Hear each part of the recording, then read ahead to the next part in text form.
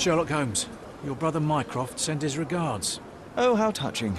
Perhaps one day he'll do it in person. Look, I just tell you what they tell me. And you've done it admirably. Good show. I'm confident that with a bit of effort, one day you might even send regards to the king himself. Goodbye. Wait, no. I haven't told you yet. Of course, let me guess. Mission urgent, fate of the nation, etc. Mycroft busy with his tea parties, is he? Right. So, one of our agents has been involved in an accident and can't send us the confidential document she's obtained. We need you to go and ensure the job is completed. So, yes, urgent mission, fate of the nation. So, Mycroft needs another errand boy. And you are presumably too incompetent? Oh, don't give me that look. I'll go and check on your agent. Send Mycroft my regards. The details are in this note, Mr. Holmes. If I were you, I'd start to take this more seriously. Lives are at stake.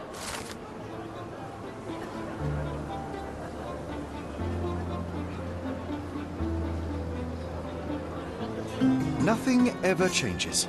I'm pulled back and forth between my brothers playing all their silly games. Hey, at least mine are fun. Don't you have an assignment to work on? Do not postpone this matter, Mr. Holmes.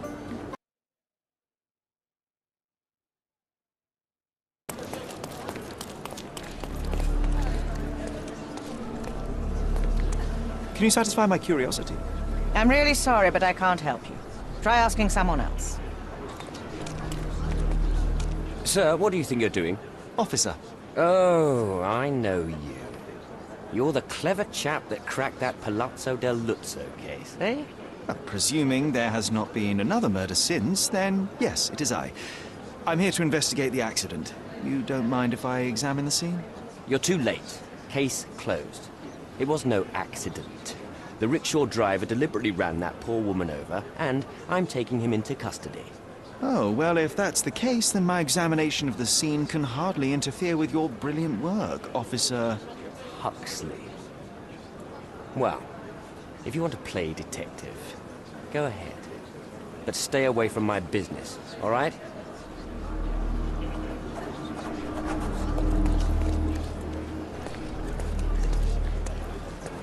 How do you turn a simple accident into a tasty case? Add some spies!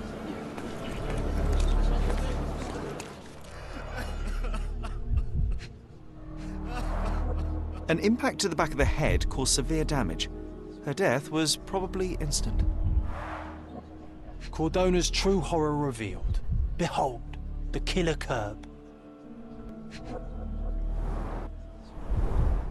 The dress looks generally neat and tidy. Any staining must have been from the accident.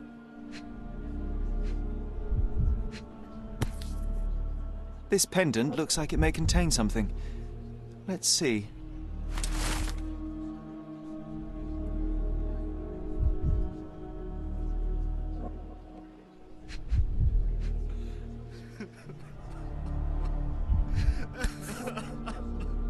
Takes two to tango. I'll find a use for it. Cleaning the houses of rich men by day and preserving England's secrets by night. My friend, you know you're in trouble, right? But all this can go away for a small fee. Damn crooked cops. Come on, concentrate, so we can stop him before he arrests the driver.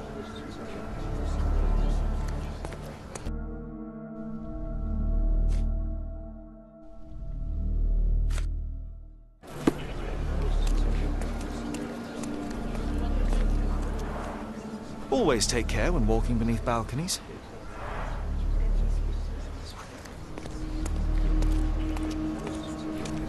Sir, I've heard the same not my fault lie a thousand times. I wasn't born yesterday. How do you turn a simple accident into a tasty case? Add some spies! From the position of the body, we can deduce that Mycroft's agent walked down the street from the east.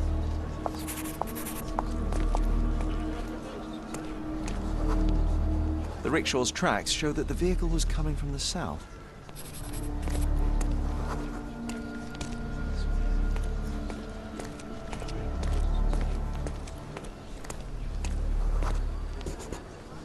The rickshaw gained speed down the slope of the road and was going too fast to stop for a pedestrian.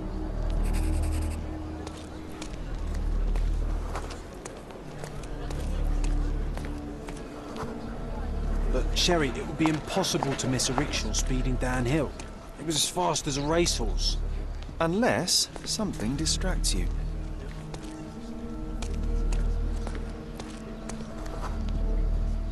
A sudden loud noise caught the agent's attention and they stepped into the road without looking. It was all an accident. John, no one is immune to chance. Such synchrony of events would be very difficult to contrive artificially. No such thing as coincidence. I bet there's a killer mastermind behind this. Or a team of killers. Ooh, a secret global rickshaw conspiracy.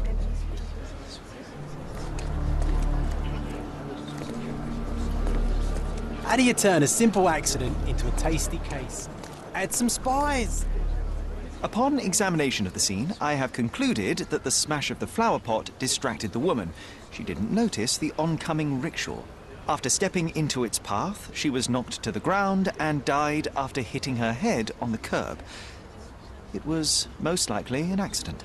Ugh, that's just your imagination. The facts say otherwise. Well, fact, there are no wheel tracks on the woman's body, so the rickshaw could not have run over her. Fact, you are blackmailing an innocent man. Didn't I tell you to stay out of my business? You're lucky there's a crowd. So the man can go free. Oh, thank you, Officer Huxley, for your excellent decision. All right. The rickshaw puller can leave, but he better not show his face again. That goes twice for you, Mr. White Knight. Goodbye, sir. I'm Glad you didn't leave that poor chap alone. The truth must be told, even if it damns as often as it saves. Today it spared a driver and denounced an officer. Tomorrow, perhaps the opposite.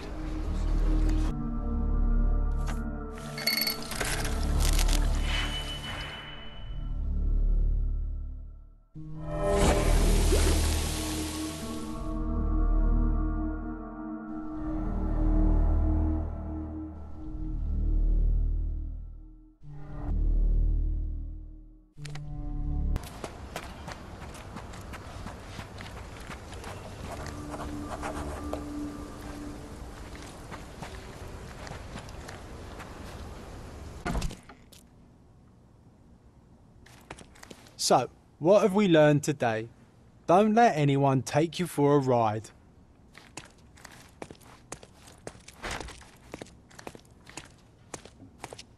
One bed, one table, and one horrible scent of decay which someone tried to cover with perfume. A typical safe house for Mycroft spies. Ah, the espionage life where at any moment you could die. Of boredom. Ah, the espionage life where at any moment you could die. Of boredom. Being a secret agent isn't easy.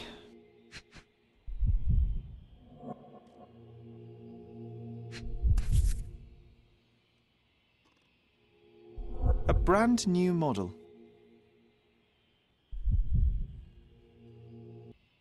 Must say, perfectly maintained. She took good care of it. Whoever broke in clearly does not appreciate lockpicks. Whoever broke in. The documents may have been stowed in here, but they're gone now.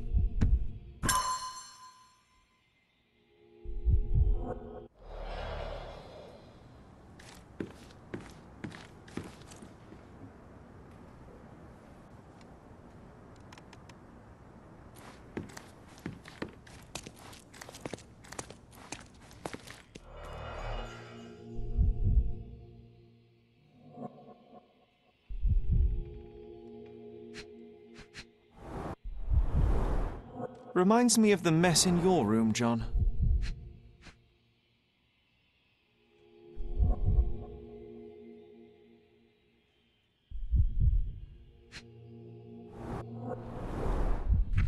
Fake passports. I guess nothing is a crime if you're working for the Crown. I've always wanted to try something new.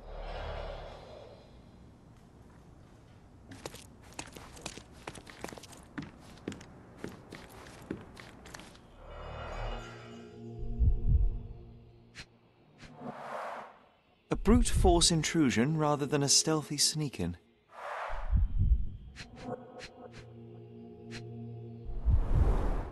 The wax is still warm. Primitive, but efficient at breaking windows. Sloppy work, unprofessional. Someone was in a hurry. Mycroft's documents were stolen. The thief entered through the broken window not long ago. What are we waiting for? Let's search the backyard and track him down.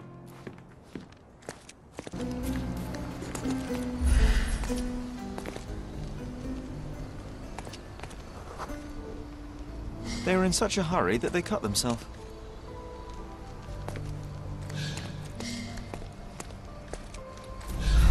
Let's keep looking for tracks, Sherry. We can't be far behind him. They injured themselves pretty seriously.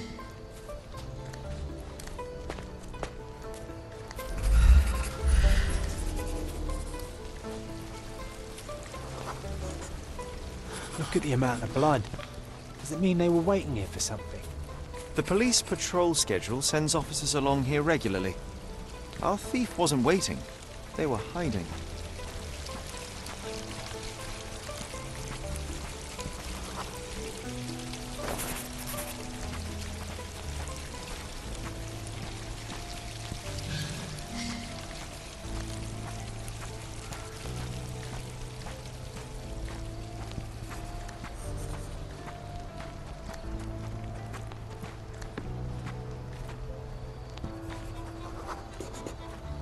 Blood trail stops here. They must have finally bandaged the wound.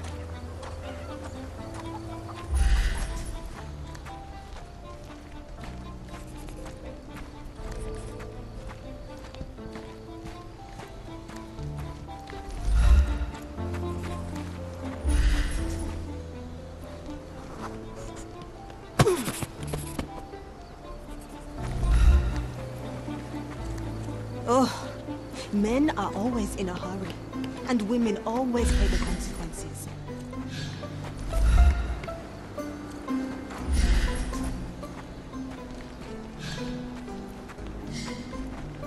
The thief must be somewhere around here. I can almost smell him. The thief must be somewhere around here. I can almost smell him.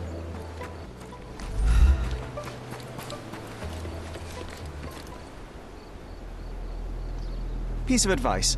Next time you try to steal from an agent of the United Kingdom, don't leave a trail of blood behind you. Try using a lockpick.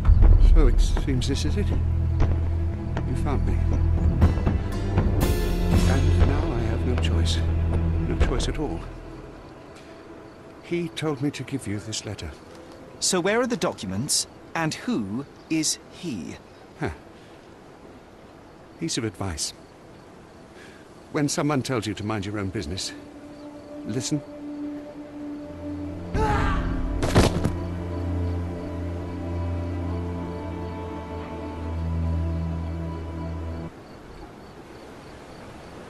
Oh, Sherry. What horror could he have been facing that suicide was the better option? It's a grim augury indeed. There's something bigger brewing, John. We should inspect the poor man for any leads. Whoa, Sherry. He just. Damn.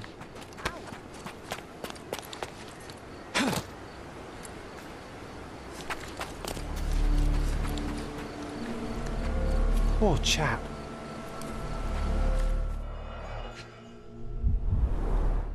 He managed to bandage the wound properly. A strange act of self preservation for a man on his way to suicide.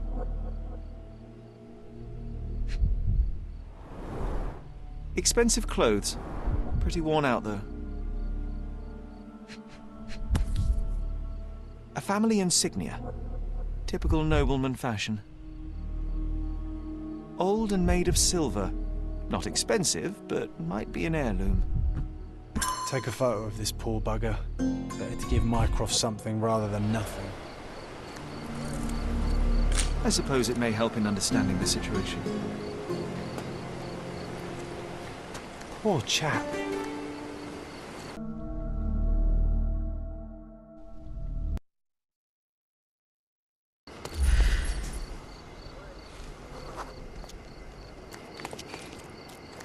May I ask you something? My dear fellow, you're talking to the right man.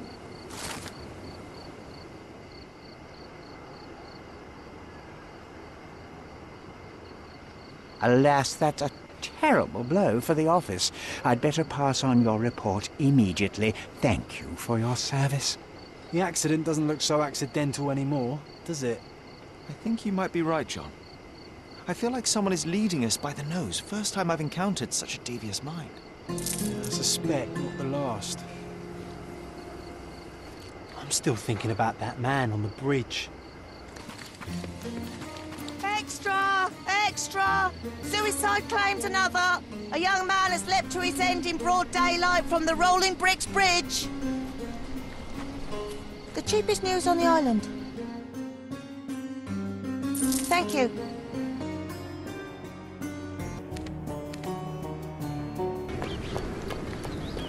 Mr. Holmes, your brother sent me. Oh, terrific. Let me guess. A mission of global importance, a nation forever in my debt? Let's get this over with. Hmm. I see the Holmes demeanor is genetic. Well then, this island is home to a seemingly innocuous astronomy professor named Jacob Haring. In high society, though, he's rather more infamous. He possesses a collection of scandalous materials that could compromise almost every aristocrat in Britain.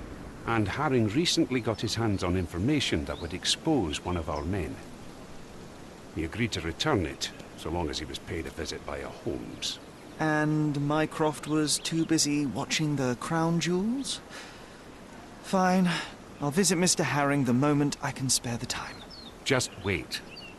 The man is a loner, but a cunning one. This invitation implies he has something in mind for you, so be careful. And remember, I was never here. We never met.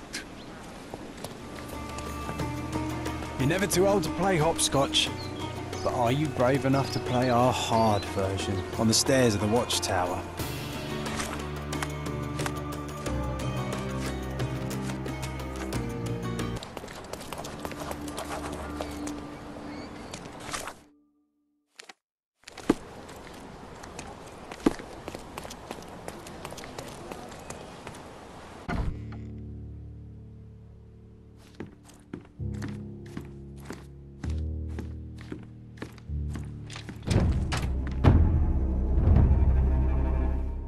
Boom, Sheriff. I found a corpse. Don't you think it's strange we always end up in situations like this? Seek, and ye shall find. John, do you know any songbirds? Oh, I, I don't know. Uh, partridges, birds of paradise, uh, chickens. Uh, okay, I might just be hungry. Another day, another death. Do you think we're just lucky?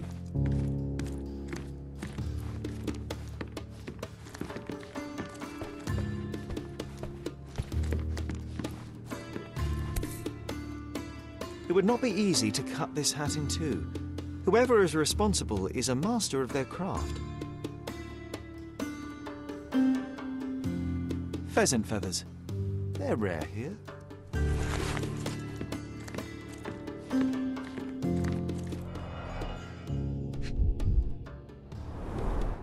Judging by his expression, a painful and unexpected death. His hand is clinging to his chest, but he has no stab or gunshot wounds.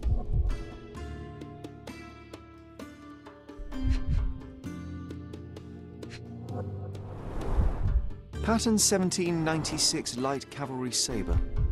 It looks like he died of natural causes, but something doesn't add up.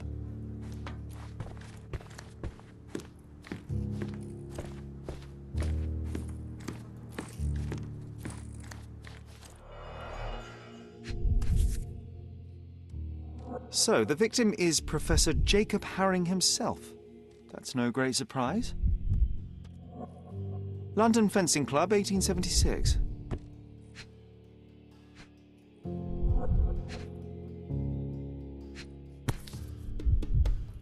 A man with a plan.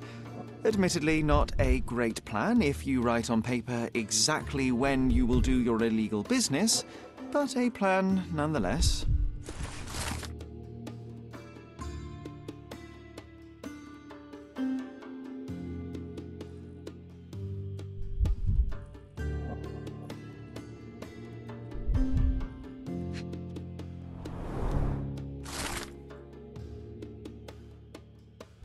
Healthy and ready to take part in the fencing competition.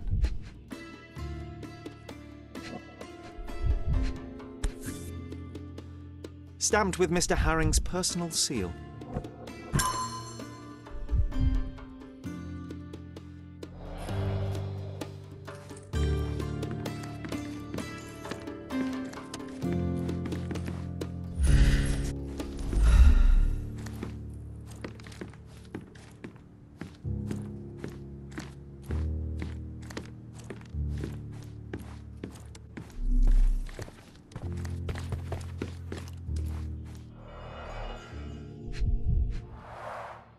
This was opened carefully.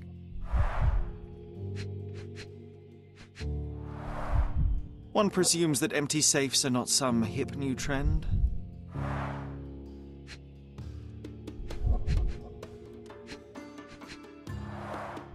A safe behind a painting. Classic. If you had an enormous collection of blackmail material, where would you keep it? Oh, nice try, Sherry. But I ain't telling you nothing. Old, but still deadly. Hmm. Two sabers used to be mounted here.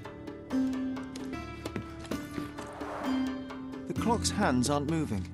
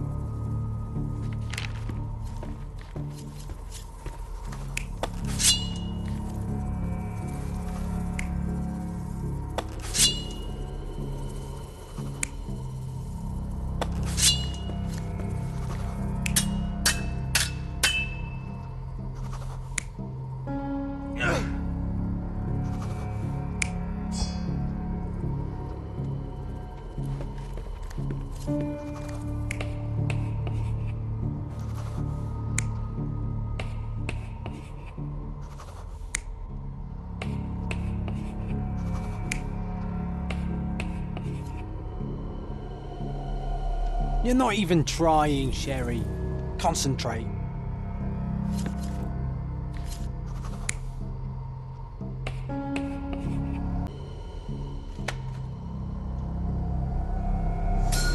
Mr. Harring was not one to deviate from his plans, and yet, on this day, he only managed to answer his mail and never did get to repair the clock. The visitor knew his schedule.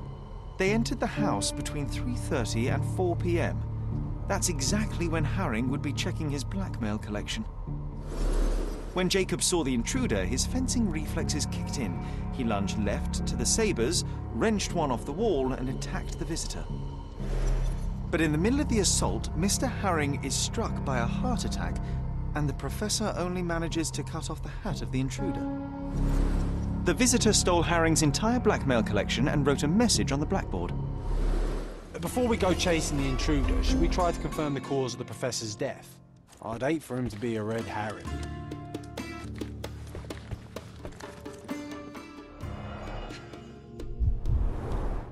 Half empty, or for John, half full. A strong, rotten smell. Uncharacteristic for tea. Totally empty. Even John couldn't argue with that.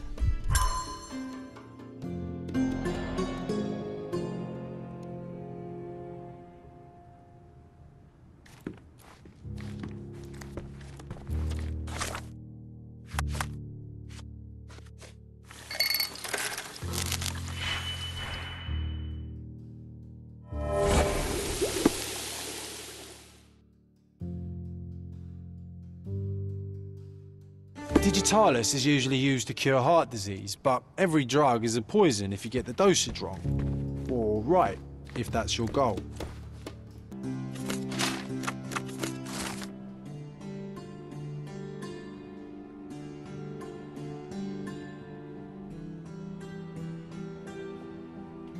Seems like we have fun neighbours, eh, Sherry? We should introduce ourselves.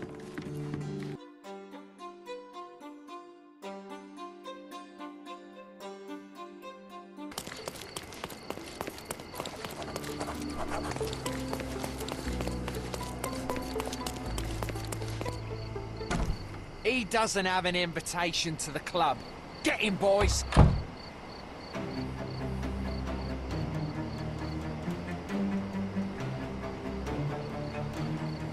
I'm coming for you.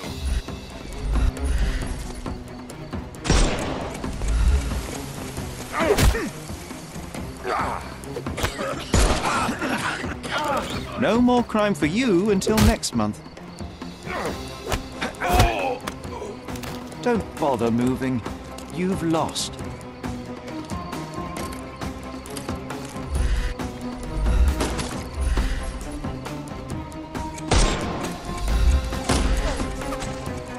I am invincible.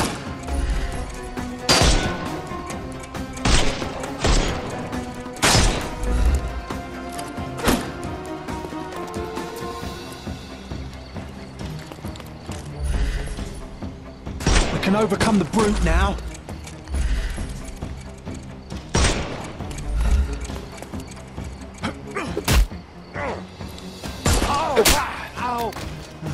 The snuff's.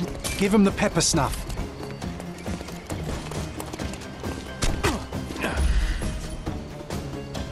He's all yours now. Go for it. Too simple. The snuff's ready.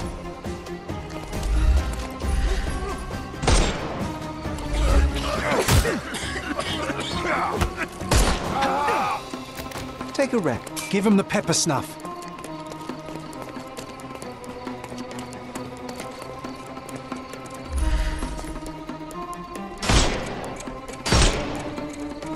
Time to knock this guy out.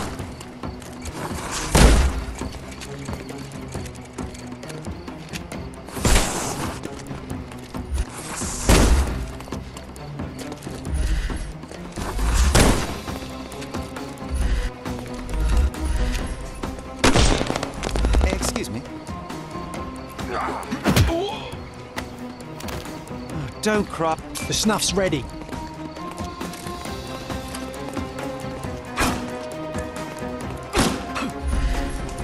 We can overcome the brute. It won't work this way.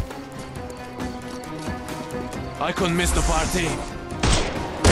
I'm coming for you. Too simple. Give him the pepper snuff.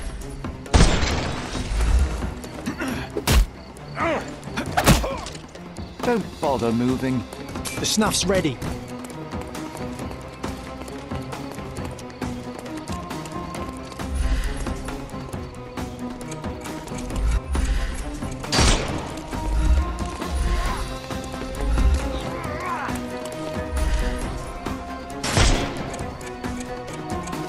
Time to knock this guy out.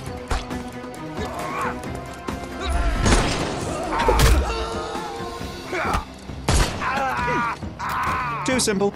Give him the pepper snuff. All right, fella. I give up. Take me into custody. You have nothing on me anyway. So I'll walk out the station right after you do.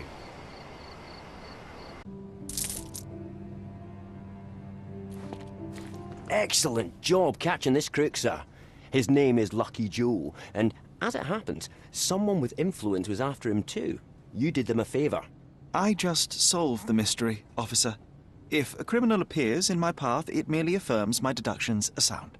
Either way, you'll be pleased to know that an anonymous tip has fingered Lucky Joe as being involved in the murder of a famous professor.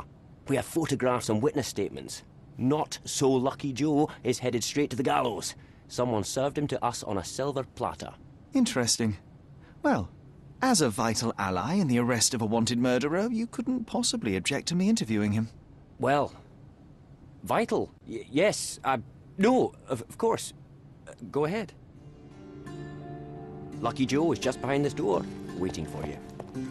Looks like those little birdies won't sing for a while, Sherry.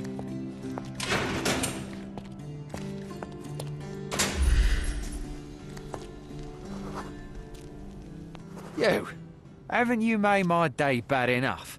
Get out! The police received an anonymous tip. Someone saw you entering Professor Jacob Haring's house. They have photos. You're in trouble. I didn't even touch the old fool. This whole business was a setup from the beginning. You broke into the house at the exact time Jacob Haring had his safe open and his collection of blackmail materials out. Perfect timing to steal the lot. Ah, that's circumstantial at best. Alas, the professor turned out to be less feeble than you expected. He pulled a saber from the wall and nearly took your head off. But lo, the vigor evaporated, and all at once he fell to the floor, grasping his chest as if his heart itself had given up. That's. that's exactly what happened.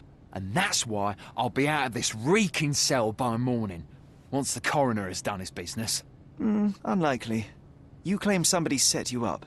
If so, they will ensure that you're hanged. We both want to know who is truly behind this, so tell me the whole story. It may yet save your life. Oh, blast. All right. What do you want to know? So you broke into Professor Haring's study and stole the blackmail materials. What did you do with them? Do you like jokes? My humour tends toward the dry and bitter. Then you will love this one. As I fled Haring's place with the documents, a pickpocket snatched the folder from me on the street. I was played from the beginning, beaten at my own game. They made a joke of me and the Robins, and now I await the gallows. Ha! Ha ha ha! Oh, you're right, it was a good joke. But now things begin to make sense. Haring's blackmail collection was hardly public knowledge. It stands to reason that whoever informed you of his existence must be who set you up. Yes, obviously. But I've never seen his face, nor do I know his name. I received a note at Il Palazzo del Lusso that gave me the address of Jacob Haring. It was signed with one letter M. I cannot believe such an established gang leader would personally engage in burglary simply because he received a letter. It was not just a letter. I received something else with the note. A file. On me. And a bloody detailed one at that. I'm not sure if it was from Haring's own collection, but it contained things that could bury me and the entire damn Robins. I burned the file in a heartbeat, but the note warned of others like it in Haring's safe. I needed to retrieve them and got lucky. Lucky? Why? The note said that by being there at a very precise time, I'd find that safe opened. And it was right.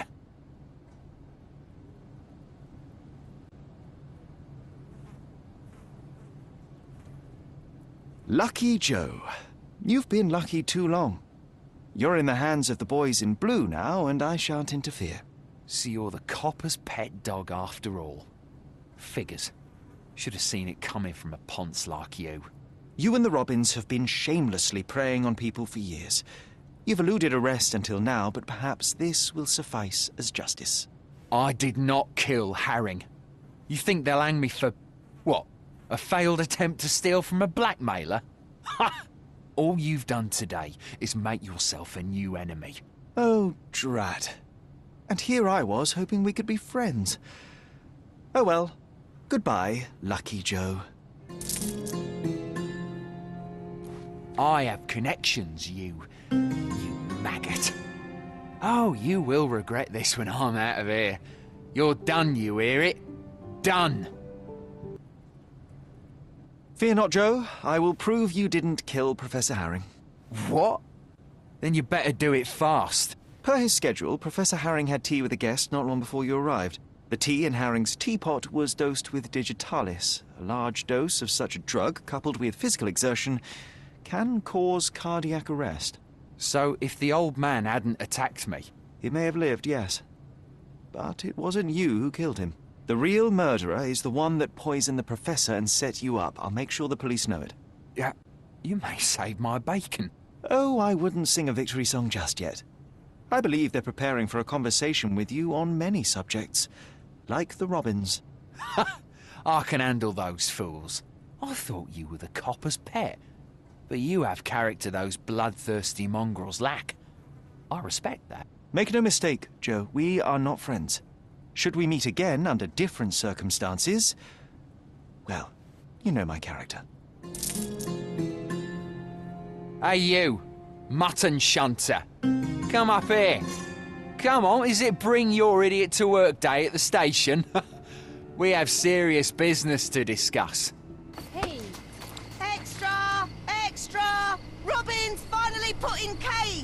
The entirety of the Robins gang, including their leader, Lucky Joe, finally arrested! The cheapest news on the island. Thank you.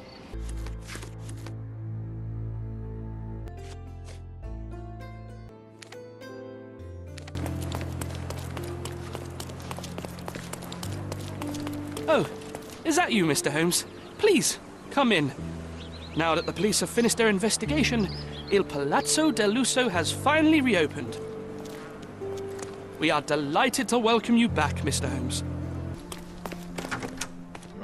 How can I help you, sir? Good day. I'm looking for room 227. An acquaintance of mine has invited me to visit him. Oh, Mr. Holmes, what a delight to see you again. Professor Malice told me he was expecting someone, but I didn't know it would be you. 227 is upstairs and to the left. He said you should spare him the trouble and let yourself in. Here's the key. I'm sure he'll be thrilled to see you. Professor Malice. Yes. Yes, of course. Well, I'd best not keep him waiting, thank you. Room 227 is upstairs and to the left. Sherry, this feels awfully like someone has set a mousetrap and we're walking right into it. I have it under control, John. If you insist on going up there, promise me you'll be cautious. Really, Sherry, I don't like this. Please. Room 227. This is it. See? Neither a trapdoor nor a self-firing gun. Any sign of the stolen documents?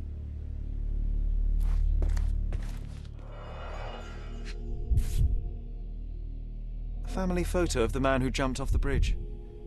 Pity. Everybody has pressure points. What would happen if I pushed yours?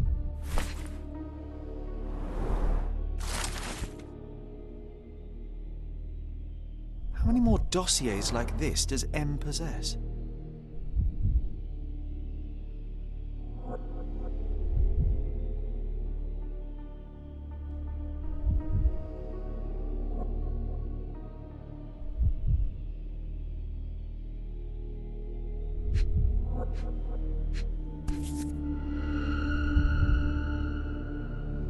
Mysteries of Sirius B by Jacob Haring. Used, then discarded. Like everyone in his path. These people were not colleagues or co conspirators, they were just implements M used to get what he wanted. Any sign of the stolen documents?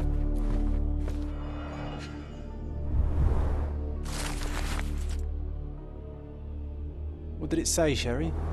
That I failed, John. He's gone, tore through Cordona like a hurricane, and left us to sift through the wreckage. Nelson's monument in Trafalgar Square, London. I am watching you. The hairs on my neck just stood up. Extensive handwritten notes on Sirius B. It appears M was studying up.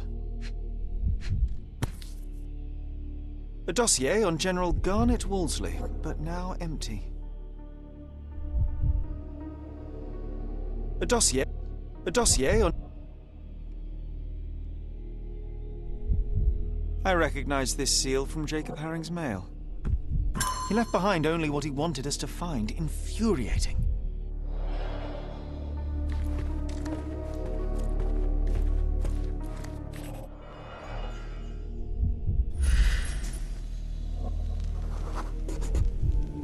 Clean champagne flute.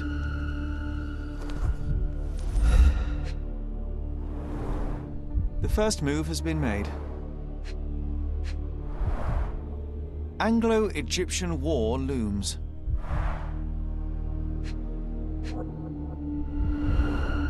The champagne bottle is uncorked, yet still chilled and bubbly. The gall of this man.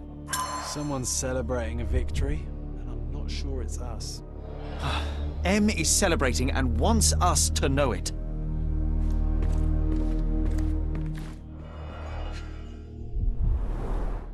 Mycroft's agent. So M did orchestrate her accident with unimaginable precision. Jacob Haring, just a pawn in a complex chess match. The position of naval forces in the Mediterranean. This M has his sights set on bigger things.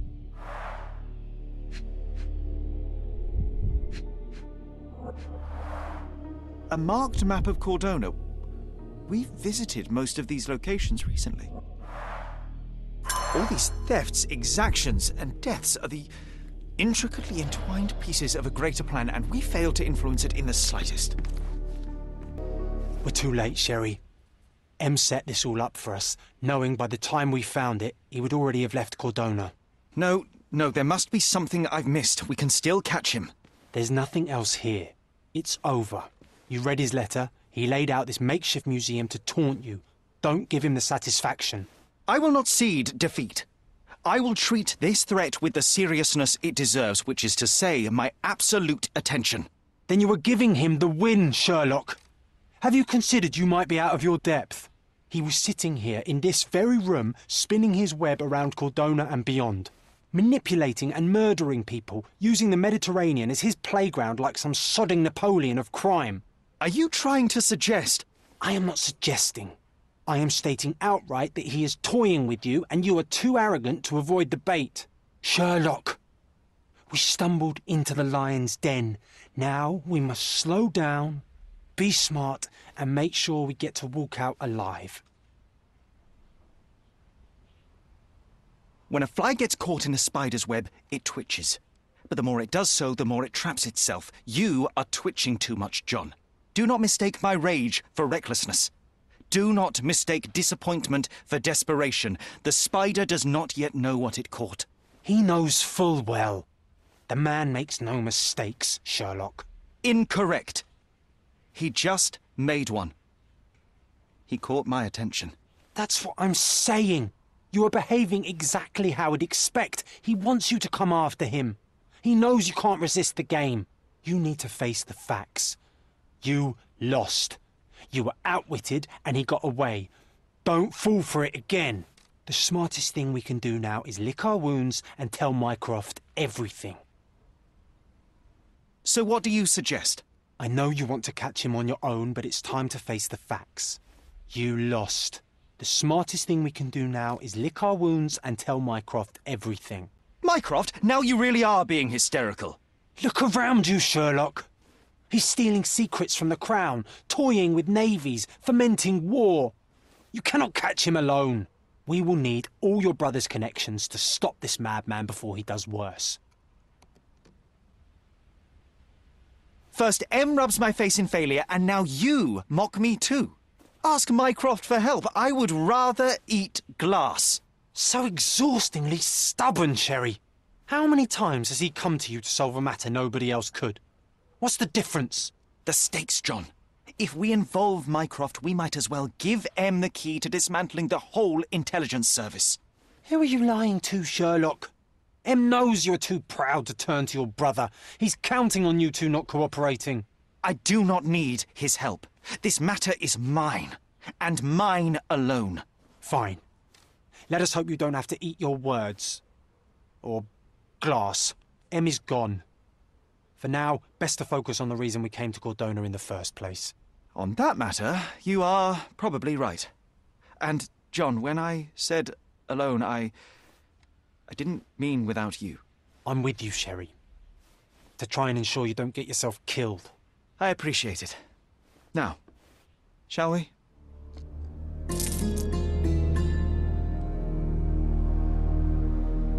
Sherry, let's return to our own matters. M thinks he can anticipate my decisions, and for now I shall let him believe it. But fear not, John. When opportunity strikes, so will I. This is not about you and your ego, Sherlock. There are other lives at risk. I am well aware, John, but Mycroft is not the answer. For the Crown, criminals like M are just as easily seen as assets or allies should their crimes align with one's political agenda.